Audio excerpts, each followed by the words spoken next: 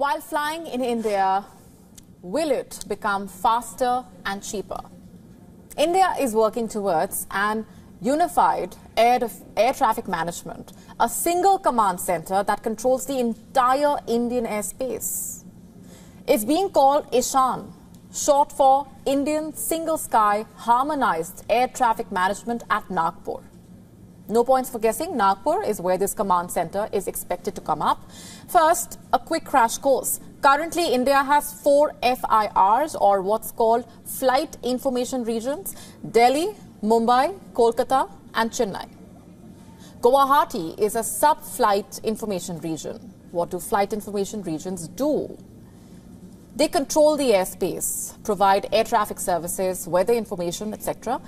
Each FIR has jurisprudence over its own airspace. For example, the airports at Mumbai, Kolhapur, Solapur, Nagpur, Aurangabad, Jalgaon, Indore, Bhopal, Ahmedabad, Vadodara, Diu, Surat, Udaipur, they all fall under the Mumbai FIR. So if a plane is going from Mumbai to Surat, it remains within the same FIR. And what happens if it is traveling from Mumbai to Kolkata? Then the plane goes from Mumbai to Kolkata FIR. Is that a problem? At a glance, no. But for the pilot that's operating the, the plane, before exiting the Mumbai FIR, she is handed over to Kolkata. This involves a lot of coordination. It basically increases the workload for the pilots who need to contact multiple centers, seek multiple clearances. It is also quite a task for the command centers. What it also does is extends the flight time, time for some more deep dive here. Ideally, when going from Mumbai to Kolkata, the plane is supposed to take the shortest route, ideally, but in reality, it does not. Your plane flies over pre-made satellite points. They are not necessarily in a straight line.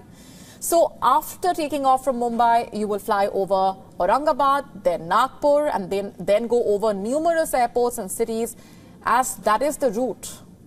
If the pilot requests for a shorter route, the Mumbai FIR can only give it a shorter route within its own airspace because it does not know what the Kolkata FIR looks like at that point.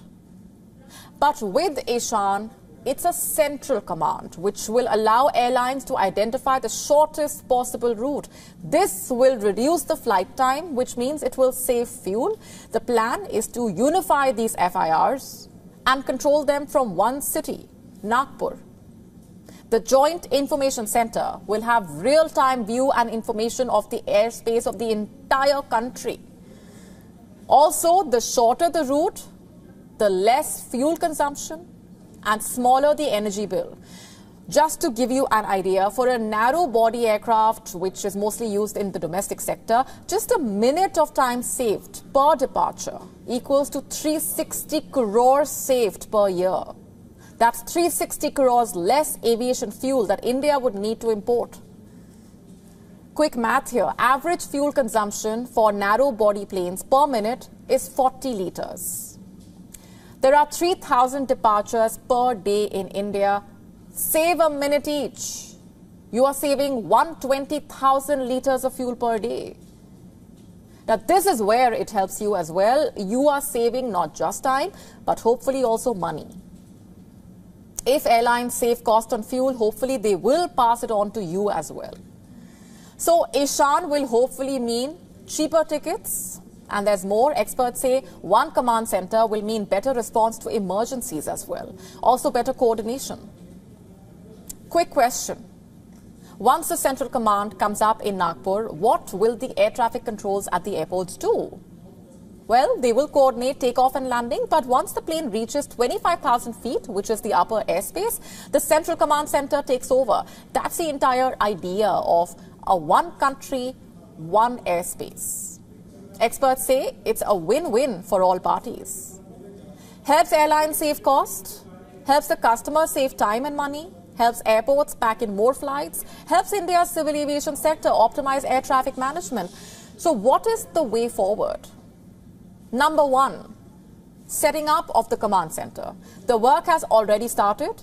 The Airport Authority of India has invited EOI or expressions of interest for preparing a detailed report for Ishan. And once that's done, step two kicks in infrastructure. All civil radars and, in some cases, military radars will have to be integrated.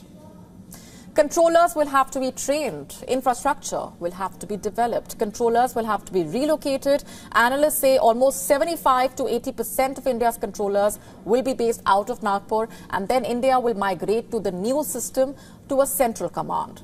And how long will that take? Some reports say up to eight years. But rest assured, once the process starts, India will by all means complete it at the earliest. The country is in the middle of a civil aviation boom. Indian carriers are placing record aircraft orders. Wide bodied planes are being brought in. New sectors are being announced. New airports are being inaugurated. The Noida International Airport, for example, will be operational by the year end. Old ones are being revamped. By 2030, India is expected to have 220 airports, 1,500 planes, 42.5 crore annual passengers. India is also modernizing the immigration process. India is aiming to become a major aviation hub, and the road and the skies are leading in that direction. To stay up to speed with the latest news, download the WION app and subscribe to our YouTube channel.